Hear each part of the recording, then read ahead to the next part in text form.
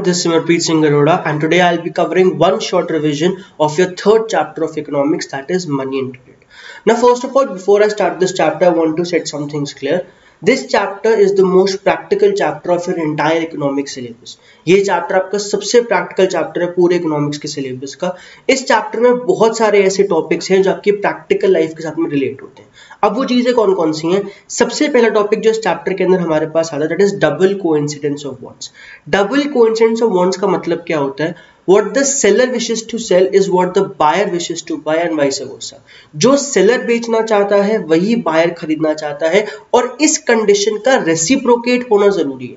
अगर एक सेलर एक चीज़ बेचना चाहता है, जो बायर खरीदना चाहता है तो बायर भी कोई ऐसी चीज़ बेचना चाहेगा जो सेलर खरीदना चाहेगा so the reciprocation of condition is very important that is why इसको हम लोग double coincidence of bonds कहते हैं nothing was before money was invented money के आने से पहले हमारे पास बाटर एक्सचेंज होता था। Barter exchanges barter exchange of goods and services without the use of money goods और सर्विसेज़ को हम लोग आपस में एक्सचेंज करते थे, बिना पैसे के यूज़ करें। इसको हम लोग बाटर एक्सचेंज भी कहते थे। बाटर एक्सचेंज के पॉसिबल होने के लिए एक कंडीशन का होना ज़रूरी था। That was double coincidence of bonds इसी चीज़ के बारे में आपकी बुक में भी चीज़ें हमारे को गिवन है। If you look at here आपके सामने आपको एक एग्ज़ाम्पल नज़र आ रहा होगा।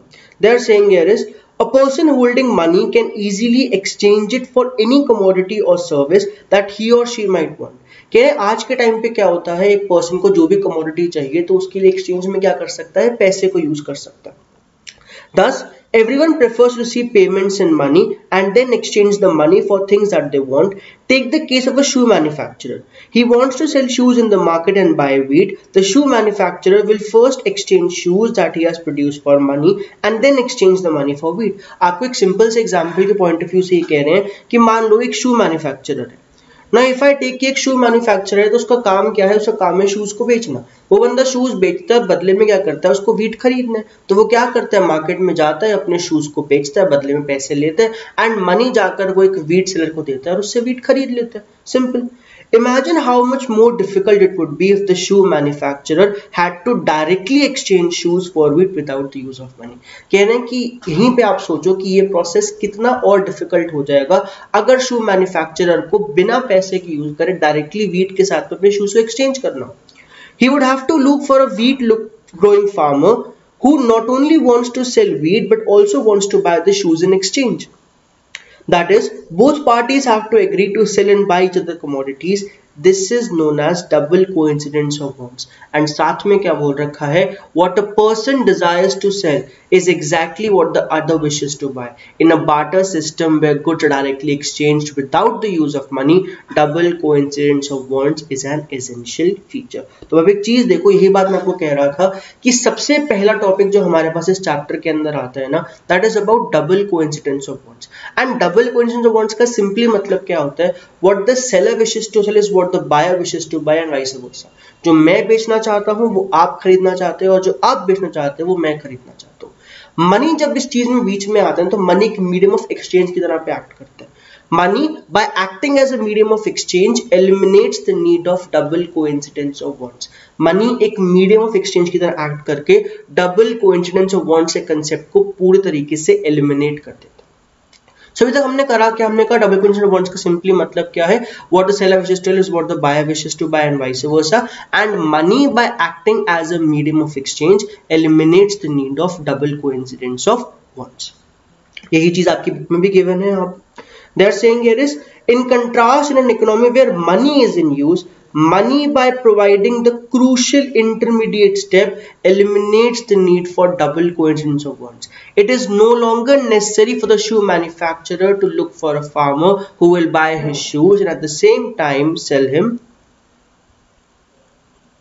wheat. All he has to do is find a buyer for his shoes. Once he has exchanged his shoes for money, he can buy wheat or any other commodity in the market. Since money acts as an intermediate in the exchange process, it is called a medium of exchange. Because पैसा यहाँ पर money यहाँ पर एक medium of exchange की तरह work कर रहा है एक intermediate commodity की तरह act कर रहा है that is why हम लोग money को क्या कहते हैं हम कहते हैं money को as a medium of exchange अब बेटा पेपर में आपके पास ना इसी के ऊपर अलग तरह से क्वेश्चन आ सकते हैं आपके पास क्वेश्चन आ सकता है explain double question of wants in example आपने इसी चीज़ को एक्सप्लेन करना आपके पास क्वेश्चन आ सकता है how does money act as medium of exchange आपको फिर से डबल क्वेश्चन ऑफ़ वॉन्ट्स को एक्सप्लेन करना है और साथ में उसका एग्ज़ाम्पल देना आपके पास क्वेश्चन आ सकता है barter exchange of goods and services के बारे में। Again what you have to do is you have to explain double question of wants give an example और लास्ट में इस लाइन को लिखना ज़रूरी है that money by acting as a medium of exchange eliminates need of double coincidence of ये इसका पहला क्वेश्चन था। फ़र्स्ट क्वेश्चन में सिर्फ़ इतने डिस्कस करा है अभी तक हम लोगों ने। जब मनी नहीं डेवलप हुआ, जब पैसे डेवलप नहीं थे तो बार्टर एक्सचेंज होता था। गुड्स के बदले में गुड्स और सर्विस के बदले में सर्विस एक्सचेंज करी जाती थी। एंड जब पैसा डेवलप हो गया, उस टाइम पे पैसे ने एक इंटरमीडिएट स्टेप की तरह एक्ट करना शुरू करा, एक मीडियम ऑफ़ एक्सचेंज की तरह एक्ट करना शुरू करा। एंड इस केस के अंदर money by acting as a medium of exchange eliminates the need of double coincidence of wants ना नेक्स्ट चीज़ हमारे पास आती है कि मनी जो हम आजकल देखते हैं, वो हमारे पास करेंसी नोट्स होते हैं एंड हमारे पास कॉइन्स होते हैं। क्या स्टार्टिंग से यही करेंसी नोट्स और कॉइन्स होते हैं? नहीं। स्टार्टिंग के अंदर हमारे पास डिफरेंट डिफरेंट मेटल्स की करेंसी होती थी। If you remember in Delhi sultanate during the Mughal empire अलग अलग प्रेशियस मेटल्स की करेंसी बनाई जाती थी। एग्ज़ाम्पल गोल्ड हो गया सिल्वर हो गया ब्रोंज हो गया कॉपर हो गया, इन सब की करेंसी उस टाइम पे बनाई जाती ऑल्सो डिस्पाइट दीज हम लोगों ने उस टाइम पे कैटल्स को ग्रेन्स को, इनको भी as a form of money as a form of currency use करना शुरू करा। नाउ एक क्वेश्चन आप सबके लिए यहाँ पर ये है, आज के टाइम पे जो हम लोग पेपर करेंसी को यूज़ करते हैं, आज के टाइम पे जो हम लोग कॉइन्स को यूज़ करते हैं, उसमें और पुराने तरीके के कॉइन्स में कैटल्स में ग्रेन्स में क्या फ़र्क है? फ़र्क बेटा ये चीज़ है कि जो पुराने टाइप की आपकी करेंसी होती थी ना, उसका एक सेकेंडरी यूज़ था। कैटल का एक सेकेंडरी यूज़ है मिल्क के लिए या अपने जो हल वगैरह है उसको जोतने के लिए। सिमिलरली आपके गोल्ड सिल्वर ब्रॉन्ज इन सबके सेकेंडरी यूजेस हैं। लेकिन आज के टाइम पर जो हमारी पेपर करेंसी है, जो हमारे कॉइन्स हैं, उनका एक ही यूज़ है, उनका एक सिंगल यूज़ है। That is the main difference between today's currency and the earlier currencies which were being issued upon next topic हमारे पास यहाँ पर आता है अबाउट डिमांड डिपॉजिट नाउ अब एक चीज़ देखो बैंक के केस के अंदर क्या होता है? आपके पास जो भी पैसा पड़ा होता है, आप उसको बैंक के पास डिपॉजिट कराते हो and as and when you want आप उस पैसे को बैंक से विड्रॉ कर सकते हो। जब चाहो, आप उस बैंक से पैसे को निकाल सकते हो। बिकॉज़ आप लोग अपने डिपॉजिट्स को जो आपने बैंक के पास रखवा रखा है, उसको अपनी मर्ज़ी से निकाल सकते हो विड्रॉ कर सकते हो। दैट इज़ वाई ऐसे डिपॉजिट्स को हम लोग क्या कहते हैं? ऐसे डिपॉजिट्स को हम लोग डिमांड डिपॉजिट्स कहते हैं। ना जो चीज़ हमने यहाँ तक पढ़ी है, एक बार इसको यहाँ पर देखते हैं। You see here is people also have the provision to withdraw the money as and when they require since the deposits in the bank accounts can be withdrawn on demand these deposits are called as demand deposits because हम लोग deposits को अपनी मर्ज़ी से bank से निकाल सकते हैं विड्रॉ कर सकते हैं दैट इज़ वाई इनको बेटा हम लोग क्या कहते हैं डिमांड डिपॉजिट्स कहते हैं तो बेटा कुछ लोगों के दिमाग में क्वेश्चन आ रहा होगा, आपने कई बार अपने पेरेंट्स के थ्रू सुना होगा कि हम लोग इतने सालों तक बैंक से पैसा नहीं निकाल सकते। वो एक अलग कंसेप्ट होता है जिसको हम लोग एफडी कहते हैं। F D is fixed deposit तो वो फिक्स्ड डिपॉजिट के केस में क्या होता है कि आप एक सर्टन पीरियड के लिए अपने पैसे को बैंक के पास रखवाते हो। आप उस सर्टन पीरियड के बीच में पैसा बाहर नहीं निकाल सकते। अगर आप उस सर्टन पीरियड के बीच में पैसा बाहर निकालने की कोशिश करते हो तो बैंक आपसे कुछ इंटरेस्ट रेट जो है वो काट लेता कुछ चीज़ें जो है, कुछ चार्जेस जो है, वो काट लेते तो आपके सिलेबस में सिर्फ़ इन्होंने बात करी डिमांड डिपॉजिट्स की एफडी की बात नहीं कर रखी, सिर्फ़ आपके नॉलेज के लिए मैंने आपको बता दिया। डिमांड डिपॉजिट्स वो डिपॉजिट्स होते हैं जो आप लोग निकाल सकते हो विड्रॉ कर सकते हो अपनी मर्ज़ी से, जबकि एफडी जो होती है हमारी फिक्स डिपॉजिट जो है, ऐसे डिपॉजिट्स हैं, जो एक सर्टन पीरियड के लिए डिपॉजिट किए जाते हैं। सो इस केस में क्या होता है, अगर आप उस सर्टन पीरियड से पहले पैसे को बाहर निकाल लेते हो तो आपको उसके ऊपर एक इंटरेस्ट देना पड़ता है। ओके नाउ आपके पास एक चीज़ बेटा हमारे पास और आती है कि हमारी इंडिया के अंदर करेंसी को इशू कौन करता है? रिस्पॉन्सिबिलिटी किसके पास है? तो बेटा हमारी कंट्री के अंदर करेंसी इशू करने की रिस्पॉन्सिबिलिटी जो है वो हमने आरबीआई को दे रखी है रिज़र्व बैंक ऑफ़ इंडिया को दे रखी है। हमारी कंट्री में रिज़र्व बैंक ऑफ़ इंडिया जो है आरबीआई जो है, ये वो बॉडी है जो करेंसी को इशू करता है। अब बेटा एक एक्स्ट्रा चीज़ आप लोगों के लिए आप लोग घर पे एक बार इस चेक करना, ढूंढना इस चीज़ को, क्या सिर्फ़ आरबीआई वो सोल अथॉरिटी है जो करेंसी को इशू करती है? नहीं। आरबीआई के साथ साथ बेटा हमारे पास ना मिनिस्ट्री ऑफ़ फाइनेंस भी होता है। Along with RBI we have ministry of finance ये जो बेटा हमारे पास मिनिस्ट्री ऑफ़ फाइनेंस होता है ना, इसको रिस्पॉन्सिबिलिटी दे रखी है कि एक तो ये कॉइन्स इशू करेगा और वन रुपी की करेंसी इशू करेगा। मैं दोबारा इस चीज़ को रिपीट करता हूँ बेटा, हम लोगों ने पहला क्वेश्चन तो पढ़ लिया कि डबल क्वेश्चन ऑफ़ बॉन्ड्स होता क्या और मनी एक मिनिमम एक्सचेंज की तरह एक्ट करके डबल क्वेश्चन ऑफ़ बॉन्ड्स को पूरे तरीके से एलिमिनेट कर देता है। सेकेंड चीज़ हम लोगों ने क्या करी? सेकेंड चीज़ के अंदर हम लोगों ने कहा, जहाँ पे हम लोगों ने बात करी डिमांड डिपॉजिट क्या होते हैं? ऐसे डिपॉजिट जिनको अपनी मर्ज़ी से आप विड्रॉ कर सकते हो, उनको हम लोग डिमांड डिपॉजिट कहते हैं। एक एक्स्ट्रा कंसेप्ट एफ़ आ गया, जहाँ पे आप पैसे को बाहर नहीं निकाल सकते सर्टन टाइम पीरियड से पहले। फिर करेंसी इशू करने की रिस्पॉन्सिबिलिटी किसकी है? आरबीआई की है रिज़र्व बैंक ऑफ़ इंडिया की है। लेकिन मिनिस्ट्री ऑफ़ फाइनेंस को भी रिस्पॉन्सिबिलिटी दे रखी है कॉइन्स इशू करने की और वन रुपी के करेंसी नोट्स इशू करने की। बाकी जितने भी करेंसी नोट्स हैं, वो सबके सब कौन इशू करता है? Reserve bank of India RBI issue करता है। एनी प्रॉब्लम्स अगर आप लोगों को है तो प्लीज़ आप लोग चैट बॉक्स में लिखो, मैं बिल्कुल उनको देखता देखते ना नेक्स्ट कंसेप्ट जो बेटा हमारे पास आता है, वो आता है चेक फैसिलिटी के बारे में। What are basically cheques cheques बेटा चेक फैसिलिटी के अंदर क्या होता है? Cheque is basically paper cheque होता क्या है? चेक एक पेपर होता है instructing the bank to pay a specified amount in the person account to the person in whose name the cheque has been issued cheque basically है क्या? Check basically एक paper की तरह होता है, जिस बंदे का नाम उस चेक के ऊपर लिखा होता है। आप उसको इंस्ट्रक्ट कर रहे हो अपने बैंक को कि एक सर्टन अमाउंट निकालो, एक स्पेसिफाइड अमाउंट निकालो। मेरे अकाउंट से वो पैसा निकालकर जिसका नाम उस चेक पे लिखा हुआ है ना, उसके अकाउंट में स्पेसिफाइड अमाउंट को डाल दो। So cheque basically is what a cheque is basically just paper एक चेक बिल्कुल एक पेपर की तरह होता है जो बैंक को इंस्ट्रक्ट करता है कि स्पेसिफाइड अमाउंट निकालो और स्पेसिफाइड अमाउंट निकालकर उस बंदे के अकाउंट में इस पैसे को डाल दो जिसका नाम उस चेक के ऊपर लिखा हुआ है ना चेक के अंदर हमारे पास कुछ अलग अलग चीज़ें होती हैं। जैसे मेन चीज़ जो आप लोगों को यहाँ पे समझने की ज़रूरत है, आप लोग चेक के एक बार फॉर्मेट को देखो। आपके पास यहाँ पे नाम लिखा हुआ आता है कि आप किस बंदे को पे करना चाहते हो। डेट ऑफ़ चेक आती है अमाउंट आता है। अमाउंट आपका न्यूमेरिक में भी आता है अमाउंट आपका जो है वो वर्ड्स के अंदर भी लिखा जाता है। आपका सिग्नेचर होता है। इसके अलावा जो मेन चीज़ आप लोगों को पढ़ने की ज़रूरत है दैट इज़ दिस जिसको हम लोग अकाउंट पे ही कहते हैं। बेटा, इस केस में क्या होता है? मान लो कि मैंने एक चेक इशू करा, ये एक नॉर्मल चेक है।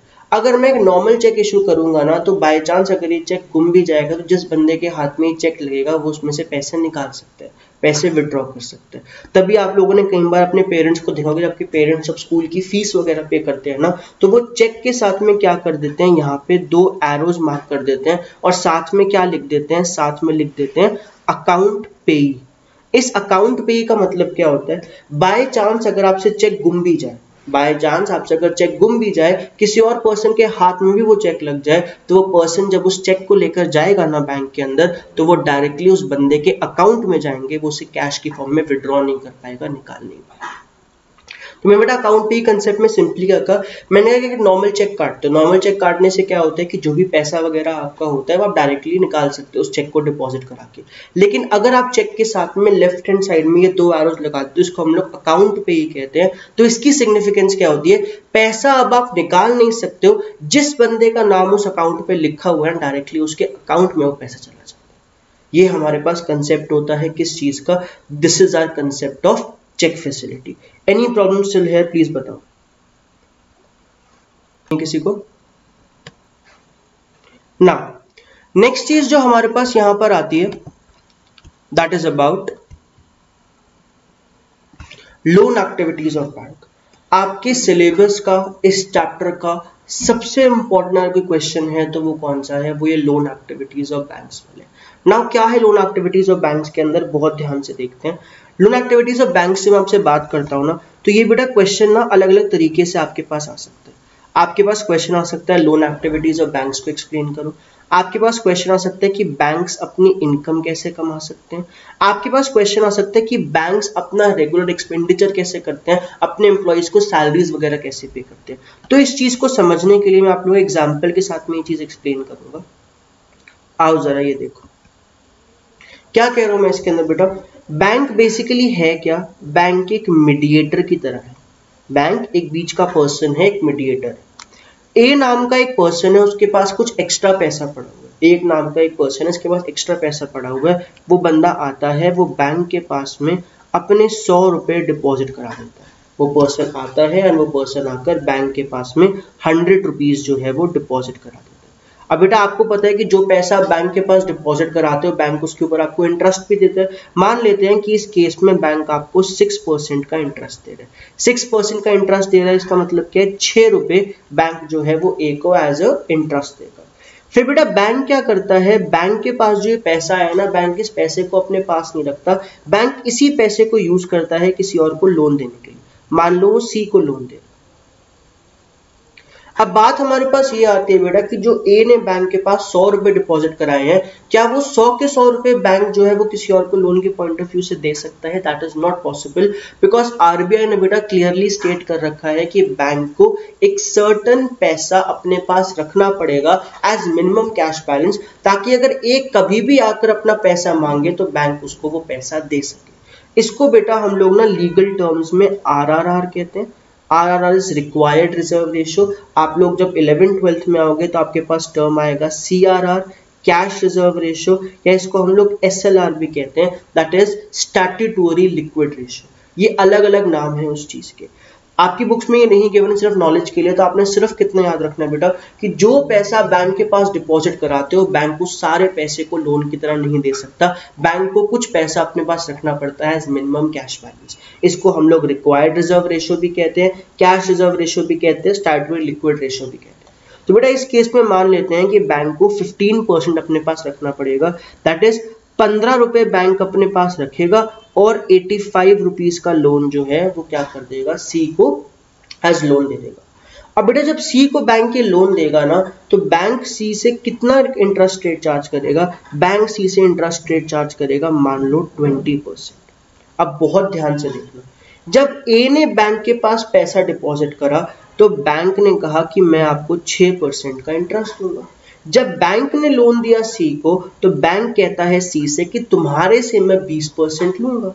सी से बैंक 20 परसेंट लेगा और उसने 6 परसेंट ए को देना है। इसका मतलब 14 परसेंट क्या हो गया?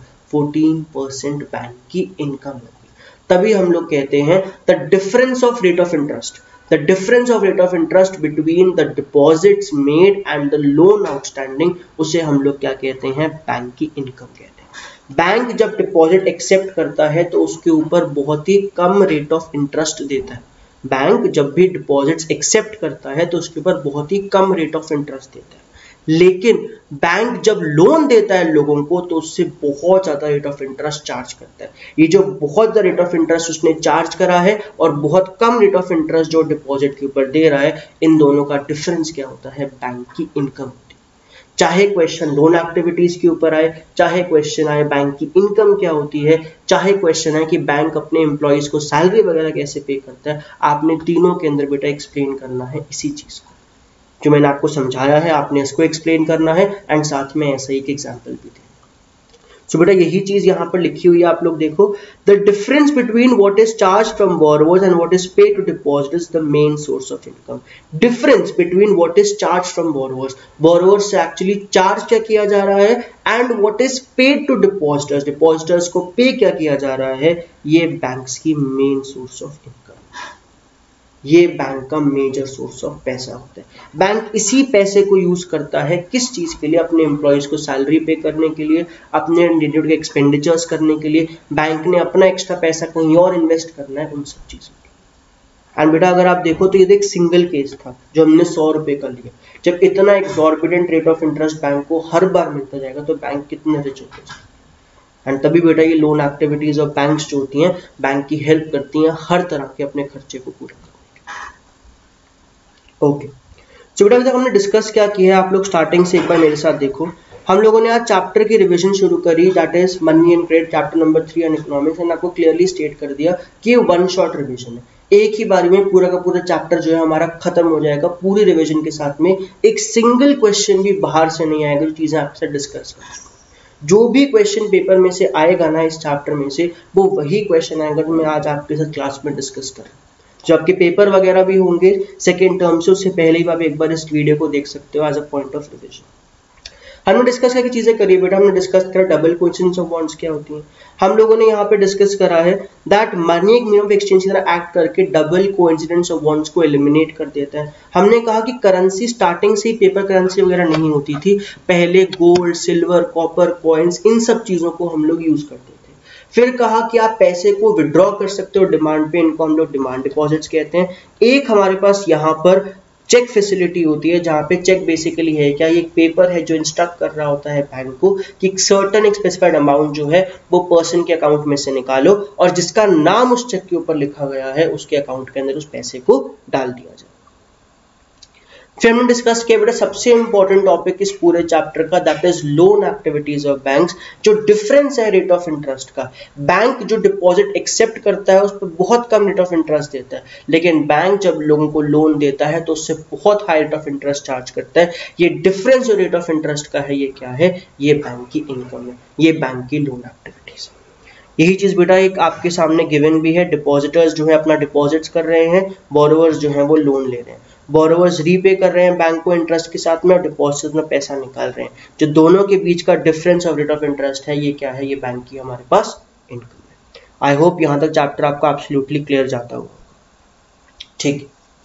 फिर बेटा हमारे पास नेक्स्ट टॉपिक आता है टू डिफरेंट क्रेडिट सिचुएशंस आप देखो बेटा क्रेडिट का मतलब क्या होता है? क्रेडिट का मतलब होता है लोन अब क्रेडिट की दो सिचुएशंस हो सकती हैं। या तो बेटा पॉजिटिव सिचुएशन हो सकती है या हमारे पास नेगेटिव सिचुएशन हो सकती है। क्या मतलब है इस बात का? पहली चीज़ credit refers to an agreement in which the lender supplies the borrower with money goods और services in return for the promise of future payment credit basically है क्या? क्रेडिट हम लोग कहते हैं लोन के अमाउंट को, एक एग्रीमेंट होता है जहाँ पे लेंडर जो है वो बोरोवर को पैसा या गुड्स और सर्विसेज़ देता है। साथ में एक प्रॉमिस के साथ में कि फ्यूचर में तुम इस पैसे को मुझे वापस कर दो। जैसे मैं एक पर्सन को लोन देता हूँ, मैं कहता हूँ कि यार तुझको मैं लोन दे रहा हूँ, लेकिन दो महीने बाद ये पैसे मुझे वापस कर तो इस चीज़ के बेटा हम लोग दो सिचुएशन देखेंगे। पहली सिचुएशन देखते हैं festival season It is the festival season two months from now, and the shoe manufacturer Salim has received an order from a large trader in town for 3000 pairs of shoes to be delivered in a month's time. तो बेटा festival season चल रहा है इस time पे, और दो महीने के अंदर अंदर ये चीज़ है। सलीम के पास एक बड़े ट्रेडर से ऑर्डर आया है 3000 पेयर्स ऑफ़ शूज़ के लिए। इस ऑर्डर को बेटा कंप्लीट करने के लिए टाइम के ऊपर सलीम को कुछ वर्कर्स को हायर भी करना पड़ रहा है स्टिचिंग या पेस्टिंग वर्क वगैरह करने के लिए। उसको रॉ मटेरियल खरीदना पड़ रहा है। इन एक्सपेंसेस को मीट करने के लिए सलीम को लोन लेना पड़ रहा है दो सोर्सेज से। सबसे पहली चीज़, वो लेदर सप्लायर को कह रहा है कि वो उसको लेदर अभी सप्लाई कर दे और वो बाद में उसको पैसा देगा। तो बेटा, सलीम जो है, वो लेदर सप्लायर को कह रहा है कि वो आज उसको लेदर सप्लाई कर दे और वो बाद में उसकी पेमेंट करेगा। ये भी क्या है? ये भी एक form of credit he okay okay. Second, he obtains loan in cash from a large trader as advance payment for 1000 pairs of shoes with a promise to deliver the whole order by the end of the month. At the end of the month, Salim is able to deliver the order, make a good profit and repay the loan he had borrowed. In this case, Salim obtains credit to meet the working capital needs of production. The credit helps him to meet the ordering expenses of production, complete production on time and thereby increase in earnings. Credit therefore plays a vital and positive role in this situation. बेटा, इसी black bold line को underline करके अपने पास लिख लो, साथ में explain directly ये line लिखकर भी आपके पास एक्सप्लेन करने के लिए आ सकता है. एंड सिंपली आपने यहाँ पे क्या एक्सप्लेन करना है? क्रेडिट के पॉजिटिव रोल को एक्सप्लेन करना है. दैट इज़ आपने ये फेस्टिवल सीज़न वाले एग्ज़ाम्पल देखना है उसके. एग्ज़ाम्पल में कुछ भी नहीं हुआ। सलीम नाम से एक पर्सन था वो एक फेस्टिवल सीज़न आ रहा होता है उसके बहुत बड़ा ऑर्डर आता है। बड़ा ऑर्डर उसके पास आता है उसका लेदर सप्लायर जो होता है उससे वो पहले ही सप्लाई करा लेता है अपने रॉ मटेरियल्स एंड कहता है कि बाद में तुम्हारे को पेमेंट कर दूँगा। सेकेंडली जिस लार्ज ट्रेडर ने उसको ये ऑर्डर दिया होता है वो उससे थाउज़ेंड पेयर्स की पहले एडवांस पेमेंट ले लेता है। उसकी अच्छी खासी कमाई होती है वो अपना प्रॉफिट भी निकाल लेते हैं और साथ में जो लोन लिया होता है वो वापस भी कर देते हैं। सो so, इस केस में क्रेडिट जो है, ये एक वाइटल रोल प्ले कर रहा है, एक पॉजिटिव रोल प्ले कर रहा है। आई होप सबको यहाँ तक क्लियर हो गया होगा। ओके नाउ नेक्स्ट चीज़ हमारे पास यहाँ पे आती है स्वप्नास प्रॉब्लम ना बेटा सेकेंड केस जो आप देख रहे हो यहाँ पे ये यह है कि क्रेडिट एक नेगेटिव रोल में कैसे एक्ट कर सकता है Swapna's problem. Swapna, a small farmer, grows groundnut on her 3 acres of land. She takes a loan from the moneylender to meet the expenses of cultivation, hoping that her harvest would help repay the loan. Middle of the season the crop is hit by pest and the crop fails अब बेटा हो क्या रहा है इस case के अंदर? स्वप्ना जो है, ये एक स्मॉल फार्मर है एंड इस स्मॉल फार्मर को बेटा अपनी वर्किंग कैपिटल नीड्स को पूरा करने के लिए। वर्किंग कैपिटल नीड्स क्या होती हैं उसके लिए? वर्किंग कैपिटल नीड्स का मतलब है यहाँ पर उसके लिए जो भी सीड्स वगैरह खरीदने, जो भी इनपुट्स वगैरह खरीदने, वो सब चीज़ें। तो उस चीज़ के लिए क्या हो रहा है यहाँ पे? उसे एक लोन लेना पड़ रहा है। लोन वो लेती है, लेकिन मिडवे क्या होता है कि उसकी क्रॉप फेल हो जाती है बिकॉज़ पेस्ट लग जाते हैं, उसके ऊपर इंसेक्ट्स लग जाते हैं स्वप्ना जो है वो पैसे वापस नहीं कर पाती लोन के। ना बेटा, पुराने लोन को वापस करने के लिए और अगले साल फिर से प्रोडक्शन करने के लिए कल्टीवेशन करने के लिए स्वप्ना को एक और लोन लेना पड़ता है। जब भी बेटा आप पुराने लोन को रीपे करने के लिए लोन लेते हो whenever you take a loan to repay the earlier loan और you take a loan to pay the interest of the earlier loan इसका सिंपल सा मतलब क्या है? इसका सिंपल सा मतलब ये है कि आप एक डेट ट्रैप के अंदर फंस गए आप डेट के दलदल के अंदर फंस गए हो, ये इसका सिंपली मतलब होता है। एंड यही चीज़ स्वप्ना के साथ भी यहाँ पर हो रही है। आप देखो she is unable to repay the money lender and the debt grows over there into a large amount next year Swapna takes a fresh loan for cultivation अगले साल स्वप्ना फिर से एक लोन लेती है कल्टीवेशन करने के लिए। इस बार एक नॉर्मल क्रॉप उगती है, लेकिन अर्निंग्स इनफ नहीं है उसके पुराने लोन को रीपे करने के लिए। वो डेट के अंदर फंस गई है, उसको अपना पार्ट ऑफ़ द लैंड बेचना पड़ता है, इस डेट को पूरा करने के लिए। तो आप देखो यहाँ पे क्या कह रहे हैं in Swapna's case the failure of crop made loan repayment impossible she had to sell part of the land to repay the loan credit instead of helping Swapna improve her earnings left her worse off credit Swapna को help करने की बजाय उसे और खराब situation में ले जाता है। This is an example what is commonly known as debt trap ये वो एग्ज़ाम्पल है, बेटा, जिसको हम लोग कॉमनली क्या कहते हैं डेट ट्रैप कहते हैं। Okay. So as we were discussing here, credit in this case pushes the borrower into a situation from which recovery is very painful. Credit इस केस में बोरोअर को एक ऐसी सिचुएशन की तरफ़ पुश कर देता है जहाँ से रिकवरी बहुत पेनफुल होती है अगर बेटा यही क्वेश्चन आपके पास लिखा है और आगे से आपसे एक्सप्लेन पूछ ले तो आपने स्वप्ना का एग्ज़ाम्पल यहाँ पर शुरू कर मैंने एक बात आपको क्लियर कर दी डेट ट्रैप का बेटा सिंपली मतलब क्या होता है? अगर आपके पास ऑलरेडी एक लोन आउटस्टैंडिंग है और आप एक और लोन लेते हो अपने किसी नीड के लिए या अपने पुराने लोन को रीपे ऑफ़ करने के लिए या पुराने लोन के इंटरेस्ट को रीपे ऑफ़ करने के लिए, इसका मतलब है कि आप एक डेट ट्रैप के अंदर फंस चुके अगली चीज़ बेटा हमारे पास आती है, जिसको हम लोग कहते हैं terms of credit terms of credit का मतलब क्या होता है? टर्म्स ऑफ़ क्रेडिट का सिंपली मतलब ये होता है कि जब आप लोन लेते हो तो कौन कौन सी चीज़ें आपको ध्यान में रखनी सबसे पहली चीज़ टर्म्स ऑफ़ क्रेडिट में हमारे पास जो आती है ना, उसे हम कहते हैं कोलैटरल कोलैटरल का बेसिकली मतलब क्या होता है? कोलैटरल इज़ आपको कोई भी एसेट बेटा गिरवी रखवानी पड़ती है बैंक के पास में. आप एक चीज़ देखो बैंक से मैं लोन लेता हूँ. मैं बैंक के पास जाता हूँ बैंक को मैं कहता हूँ कि बैंक मेरे को ना दस लाख का लोन दे दे. बैंक कहते ठीक है, दस लाख का लोन ले लो. ये आपने हर महीने की ईएमआई पे करनी है. मैं कहता हूँ, ठीक है. अब बेटा मान लो मैं ईएमआई पे नहीं कर पाता. इस केस में क्या होगा? इस केस में बैंक के पास पैसे रिकवर करने की ऑप्शन ही नहीं बचेगी। इसीलिए बैंक पहले क्या करता है? एक एसेट अपने पास पहले ही रखवा लेता है in the form of collateral bank अपने पास पहले एक एसेट रखवा लेता है in the form of collateral अगर जो बोरोवर है वो लोन रीपे ऑफ़ नहीं कर पाता तो बैंक उस कोलैटरल को बेच के अपना पैसा रिकवर कर लेता है। एंड बेटा जनरली ये कॉमन सेंस की बात है कि जो आपका कोलैटरल का अमाउंट होता है ना, वो ज़्यादा होता है लोन के अमाउंट से। अगर मैं बैंक के पास गया हूँ कि बैंक बैंक मुझे दस लाख का लोन चाहिए तो बैंक गया कम से कम पंद्रह लाख की कोलैटरल मेरे पास रखवाओ। बिकॉज़ बेटा ओवर द ईयर्स हो सकता है उस एसेट की वैल्यू डाउन जा रही हो। हो सकता है। अब सिंपली बेटा, एक बात तो ये है कि 10 लाख का लोन है।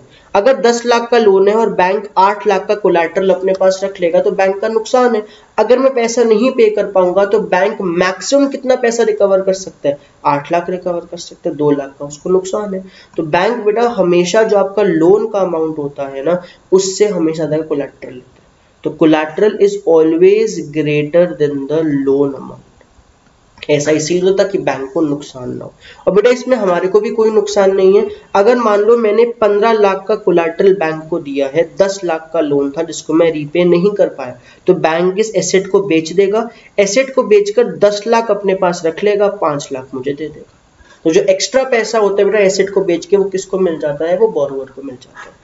ये थी बेटा हमारे पास पहली चीज़ कोलैटरल की। A collateral is what a collateral is an asset that the borrower owns such as land building vehicle livestock deposit with banks and uses as a guarantee to a lender until the loan is repaid and basically वो किस चीज़ की तरह use करता है? इसे guarantee की तरह use करता है, जब तक लोन रीपे ऑफ़ नहीं हो जाता। तो कोलैटरल बेसिकली है बेटा, कोई भी अपने पास गिरवी रखवा दी। अगर मैं लोन को रीपे ऑफ़ नहीं कर पाया तो उस एसेट को बेच दो उस गिरवी रखी हुई चीज़ को बेच दो और पैसे को रिकवर कर लो। सिंपल। अच्छा। नेक्स्ट बेटा कोलैटरल के बाद अगली चीज़ जो हमारे पास आती है टर्म्स ऑफ़ क्रेडिट के अंदर, वो हमारे पास क्या होती है बेटा? That is interest rate that is mode of repayment that is documentation ये हमारे पास कुछ चीज़ें होती हैं जो किसके अंदर आती हैं? टर्म्स ऑफ़ क्रेडिट के अंदर आती हैं। तो जब भी क्वेश्चन आपके पास टर्म्स ऑफ़ क्रेडिट के ऊपर आएगा, उसमें कौन कौन सी चीज़ें इंक्लूडेड होंगी? उसमें हमारे पास कोलेट्रल होगा, जो एसेट आप गिरवी रखवाते हो। इंटरेस्ट रेट स्पेसिफाइड होगा कि लोन के ऊपर कितने का इंटरेस्ट है। मोड ऑफ़ रीपेमेंट पैसा आप वापस कैसे पे करोगे? एंड डॉक्यूमेंटेशन आधार कार्ड हो गया पैन कार्ड हो गया आइडेंटिटी प्रूफ हो गया एंड सो ये सब चीज़ें हमारे पास किसमें आती हैं? टर्म्स ऑफ़ क्रेडिट के अंदर और बेटा, ये जो टॉपिक्स हैं these are not very important मैं आपको एक ही बारी में इनको एक्सप्लेन करूँगा। हाँ। ना दिस इज़ बेटा एन इंपॉर्टेंट केस प्लीज़ बहुत ध्यान से आप इन चीज़ों को मेरे साथ व्हाइट बोर्ड पे समझें। हम लोगों ने बेटा आज क्या कर रखा था? हम लोगों ने एक चैप्टर शुरू कर रखा था मनी एंड क्रेडिट इस चैप्टर की हम लोगों ने आज रिवीजन शुरू करी। इस चैप्टर में कौन से टॉपिक्स हम लोग डिस्कस कर चुके हैं, अगर आप लोग याद करो? हमने डिस्कस कर लिया है डबल कोइंसिडेंस ऑफ़ बॉन्ड्स क्या होता है। हमने देख लिया कि डबल कोइंसिडेंस ऑफ़ बॉन्ड्स का मतलब क्या होता है? What the buyer wishes to is what the seller wishes to buy and vice versa. And money by acting as mean of exchange eliminates the need of double coincidence of bonds. अगली चीज़ बेटा हमने इसके ना discuss की थी, जहाँ मैंने बात किया था कि आरबीआई के पास अथॉरिटी है इशू करने की करेंसी साथ में मिनिस्ट्री ऑफ़ फाइनेंस भी होता है जो आपके कॉइन्स होते हैं और वन रुपए की करेंसी होती है, उसको इशू करते हैं। फिर हमने पढ़ा डिमांड डिपॉजिट्स क्या होते हैं? व्हाट आर डिमांड डिपॉजिट्स और साथ में हमने इसके डिस्कस किया था कि चेक फैसिलिटी क्या होती है। चेक्स के अंदर हम लोग क्या क्या चीज़ें स्टडी करते हैं। नेक्स्ट हमारे पास बेटा इसके अंदर आया था जहाँ पर हम देखा था loan activities of banks banks की बेसिकली लोन एक्टिविटीज़ क्या होती है? बैंक इनकम वगैरह अपनी कैसे कमाती है। अगली चीज़ में हमने की थी क्रेडिट की सिचुएशंस क्रेडिट जो है बेटा, ये पॉजिटिव भी हो सकता है, ये हमारे पास नेगेटिव भी हो सकता है. एंड नेक्स्ट हम लोगों ने इसके अंदर जो भी किया था last that was our terms of credit I hope यहाँ तक किसी को कोई भी प्रॉब्लम नहीं होगी. अच्छा. अब बेटा, ये चीज़ करने के बाद जो अगली चीज़ हमारे पास यहाँ पर आती है ना, वो क्या है, उसको ध्यान से देखते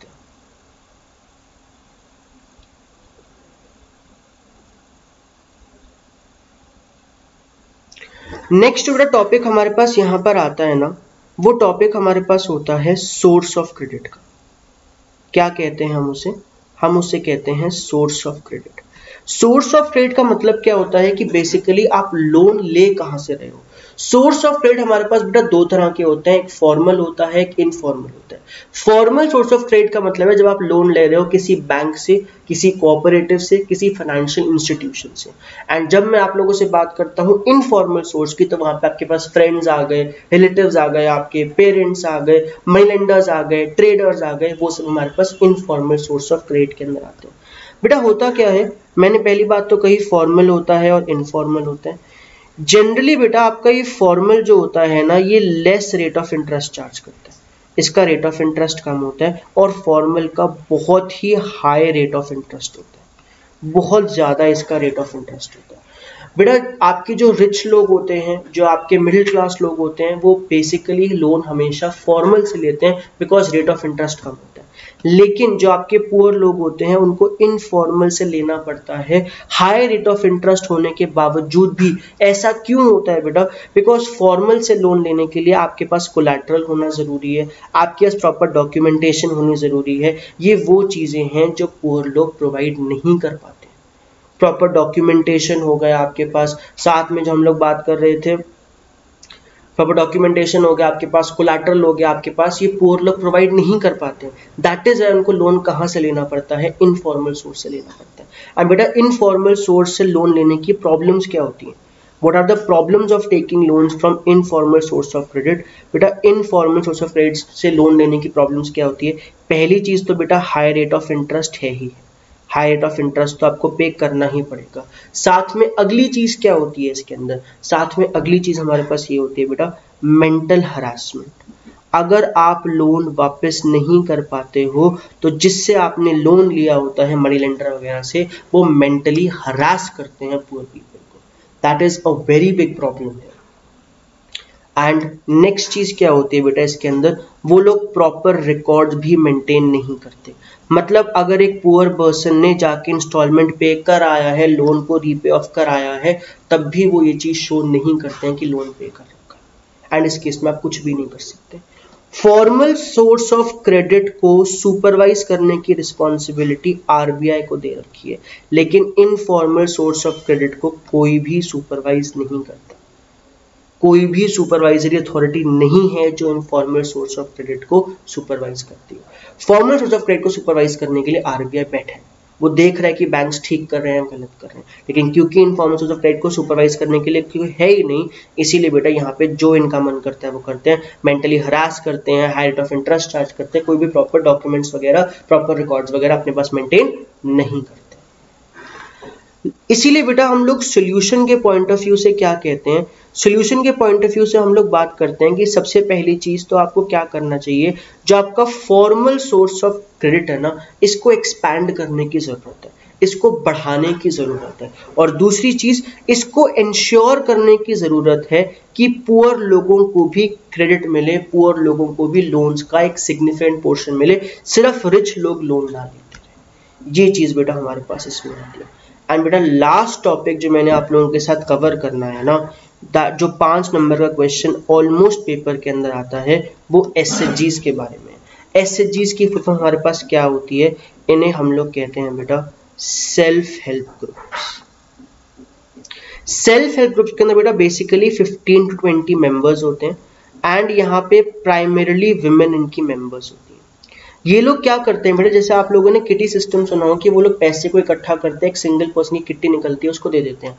वैसी एस एच जीज के अंदर सेल्फ हेल्प ग्रुप के अंदर, ये 15 से 20 मेंबर्स आपस में इकट्ठे होते हैं। प्राइमरीली ये विमेन होते हैं। ये लोग अपने फंड्स को पूल करते हैं। मान लो 15-20 मेंबर्स हैं 20-20 25-25 50-50 रुपए ये लोग आपस में हर वीक जो है वो कंट्रीब्यूट करते हैं। फिर जिस पर्सन को नीड होती है, उस पर्सन को उस महीने के लिए लोन दे देते हैं और उससे बाद में इंटरेस्ट के साथ में लोन ले लेते हैं। लेकिन इनका जो रेट ऑफ़ इंटरेस्ट होता है, वो इनफॉर्मल सोर्सेज से मनी लेंडर्स वगैरह से बहुत कम होता है। साथ में बेटा इसकी एक एडिड एडवांटेज होती है that is very very important वो एडिड एडवांटेज क्या होती है? अगर जो ये हमारे एस हैं, ये अपने प्रॉपर रिकॉर्ड्स मेंटेन करते हैं अगर जो ये हमारे एस हैं, ये प्रॉपर रिकॉर्ड्स मेंटेन करते हैं for two two three years then they become eligible for taking loans from banks bank से लोन लेने में ये एलिजिबल हो जाते हैं विदाउट कोलैटरल बिना कोलैटरल के ये क्या कर सकते हैं? बैंक से लोन्स ले सकते हैं. एंड ये चीज़ बेटा कब हो सकती है? ये चीज़ तब हो सकती है अगर एस दो तीन साल तक अपने प्रॉपर रिकॉर्ड्स को मेंटेन करते एसएचजी की बेटा एक एडेड एडवांटेज हमारे पास ये भी होती है कि एस हेल्प करती हैं विमेन की ऑर्गेनाइज करने में। इन मीटिंग्स के अंदर बेटा वो लोग अपने सोशल इश्यूज़ को भी डिस्कस कर लेते हैं। सोशल इश्यूज़ का मतलब क्या है? जैसे डोमेस्टिक वायलेंस हो गया, जैसे हेल्थ हो गया न्यूट्रिशन हो गया, ये सब चीज़ें भी वो लोग इनके अंदर डिस्कस कर लेते हैं। तो बेटा मेरा आज का एम ये था, आप लोगों ने ऑलमोस्ट सब बच्चों ने जिन्होंने क्लासेस ज्वाइन कर रखी थी मनी इन क्रेड हम लोगों का खत्म है सारे बैचेस के अंदर। एंड मेरा आज का एम ये था कि अप्रोक्सीमेटली मेरे अभी यहाँ पे थर्टी नाइन मिनट शो कर रहे हैं। तो एक 40 मिनट की वीडियो के अंदर पूरे का पूरा money in trade chapter entirely खत्म हो जाए। कोई भी टॉपिक उसके अंदर ना बचे। And that is what have tried to cover here I hope आप इन सारे एफर्ट्स को अप्रिशिएट करोगे. Do like the video leave your valuable comments बहुत अच्छा मोटिवेशन बूस्टर है ये मेरे लिए, ताकि मैं और वीडियोज़ आप लोगों के लिए लेके आ सकूँ. Thank you everyone thank you for watching I see you all in the next session bye bye